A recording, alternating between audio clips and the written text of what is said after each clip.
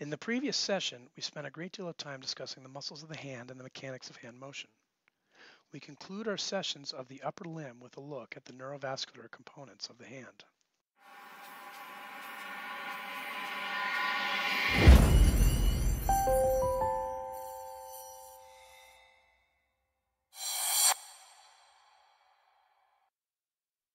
Welcome back. Having placed all the bones and muscles in place, we conclude our journey of the upper limb by looking at the terminal points of the arteries and the nerves that have, for the most part, already been introduced. We'll also consider some surface anatomy and, of course, a few more clinical. Welcome back. Having placed all the bones and muscles in place, we can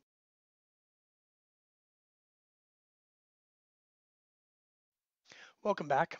Having placed all the bones and muscles in place, we conclude our journey of the upper limb by looking at the terminal points of the arteries and the nerves that have, for the most part, already been introduced.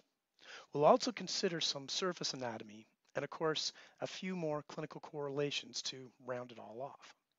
The principal blood supply is from the radial and ulnar arteries. Tracing the radial artery at the wrist, it divides to provide an anterior division that passes deep to the thenar muscles to provide a minor contribution to the superficial palmar arch. The posterior division passes through the previously described anatomical snuff box. Either anterior or posterior divisions can give off the radialis indicis branch to the lateral aspect of the index finger and the princeps pollicis branch to the thumb. The deep portion provides the principal contribution to the deep palmar arch, supplying the deeper structures of the hand. The ulnar artery enters the hand under the palmar carpal ligament and passes just lateral to the pisiform and hook of the hamate. It provides the main contribution to the superficial palmar arch.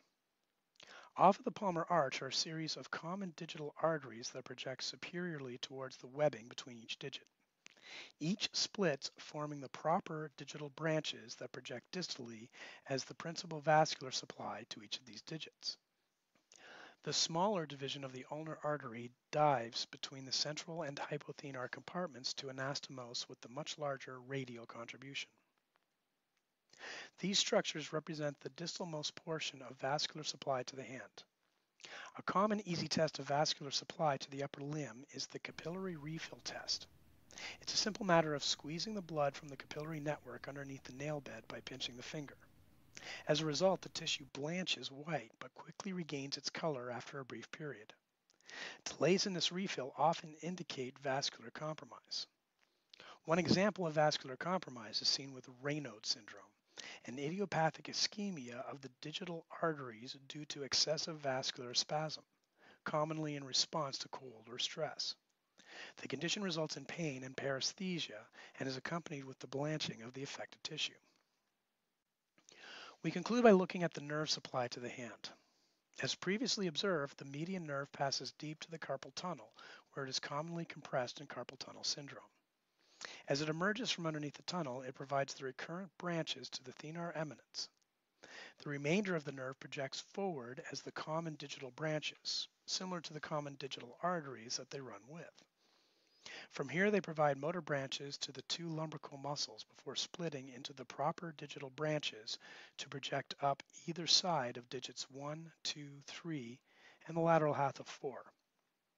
The ulnar nerve passes into the wrist deep to the palmar carpal ligament, but superficial to the carpal tunnel. Consequently, it is not affected by carpal tunnel syndrome the same way that the median nerve is. It laces its way between the pisiform and hamate hook deep to the palmaris brevis muscle in a region known as the ulnar tunnel or Guyon's canal. From here, the nerve gives off a common digital branch similar to that for the median nerve. The common digital branch supplies the medial two lumbricals before branching to give the proper digital branches to the medial aspect of the fourth digit and the lateral aspect of the fifth digit. An additional proper branch supplies the medial aspect of the fifth digit. Additionally, a deep branch supplies motor branches to the hypothenar muscles before diving deep to supply motor branches to the interossei, abductor pollicis, and the medial head of flexor pollicis brevis. Just a reminder that the radial nerve supplies no motor branches to the muscular compartments of the hand. Instead, there is a single superficial branch that supplies innervation to the skin over the thumb. For this reason, among others, there are no dorsal intrinsic muscles of the hand to consider. Even the dorsal interossei are considered part of the palmar compartment. Again, just a reminder of the cutaneous nerve supply to the hand, which is important in confirming the presence of various neuropathies. Note especially that because the branching patterns of the median and ulnar nerve, the medial aspect of the fourth digit is supplied by the ulnar nerve, while the lateral half is supplied by the median nerve. This becomes important in diagnosing peripheral neuropathies.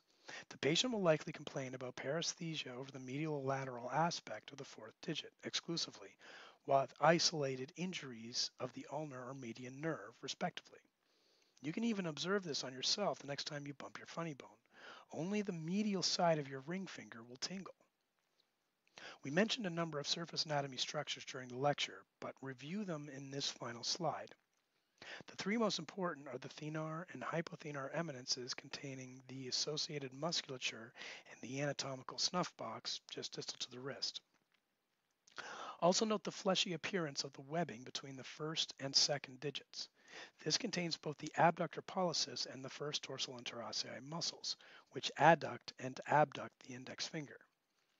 Both muscles contract strongly when pinching an object between the first and second digits, the so-called key grip position, and can be palpated as they do so. That concludes our discussion of the hand, and our discussion of the upper limb for that matter. In the next lesson, we dive straight into the lower limb, discussing its articulation with the axial skeleton at the hip and the different compartments of the thigh. Until that time, this has been Dr. Stuart Inglis. Enjoy the rest of your day.